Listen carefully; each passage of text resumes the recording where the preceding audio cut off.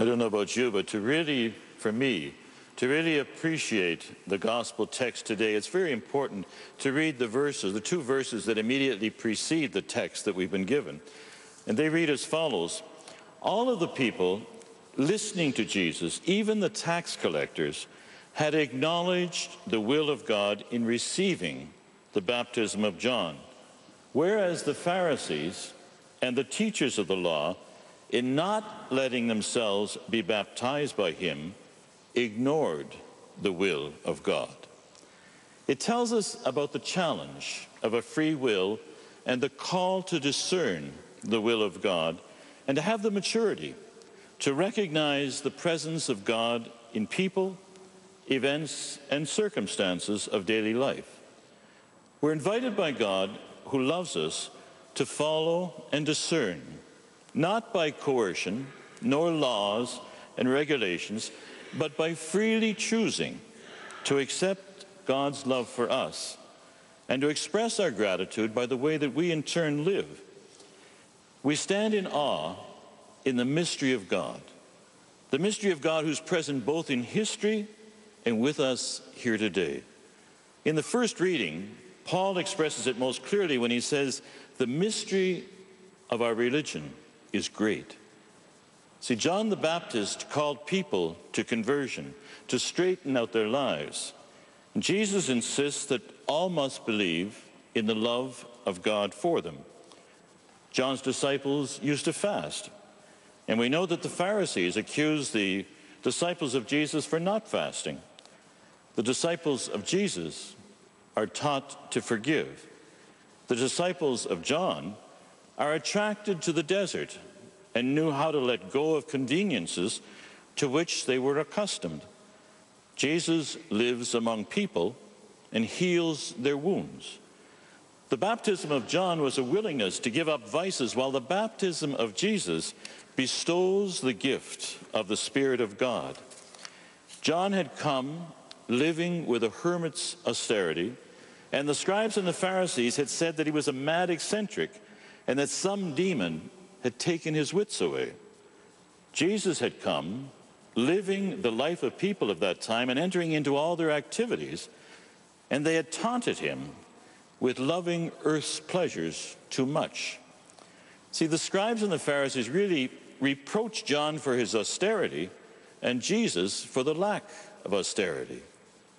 But they were like children, children who wanted everything their way, but didn't have the maturity and the freedom to be open to God's grace and to recognize God in what John said and in what Jesus did, to recognize God in every moment, in every person.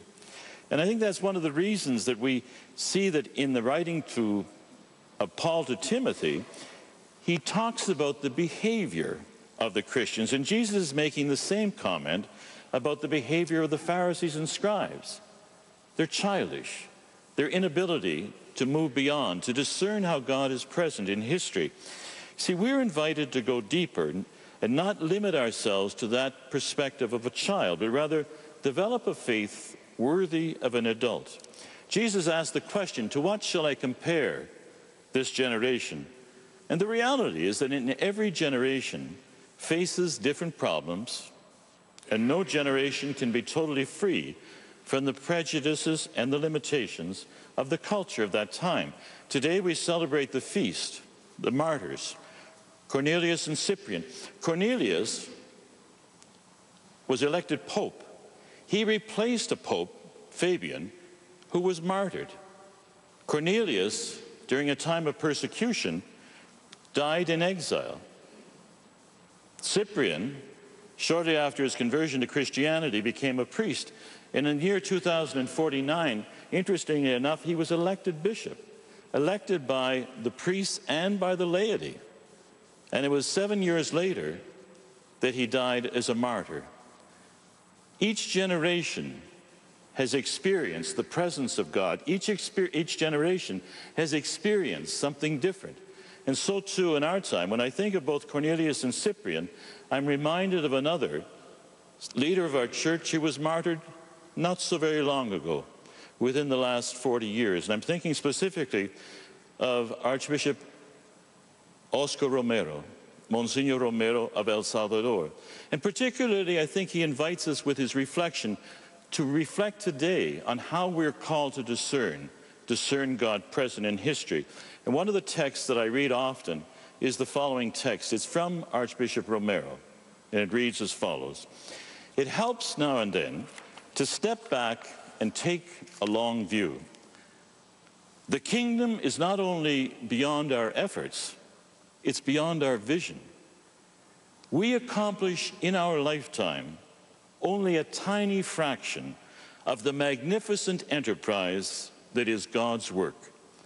Nothing we do is complete, which is a way of saying that the kingdom always lies beyond us.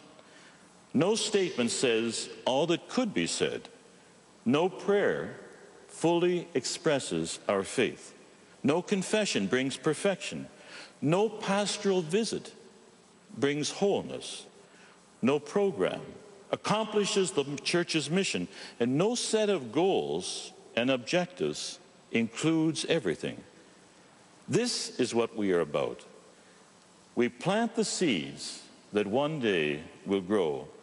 We water seeds already planted, knowing that they hold future promise. We lay foundations that will need further development. We provide yeast that produces far beyond our capabilities. We cannot do everything, and there is a sense of liberation in realizing that. And this enables us to do something and to do it very well. It may be incomplete, but it is a beginning, a step along the way, an opportunity for the Lord's grace to enter and do the rest. We may never see the end results, but that's the difference between the master builder and the worker. We're workers, not master builders, ministers, not messiahs. We are prophets of a future, not our own. Amen. Please stand. As we gather this day, we remember and bring here the, the many intentions that the people who watch us and join us via television have asked that we remember in this celebration. For all of them, for the people who made possible this telecast, we pray to the Lord. And we pray for the many people that touch our lives day in and day out, that we have the grace to recognize how God works in and through them and touches us.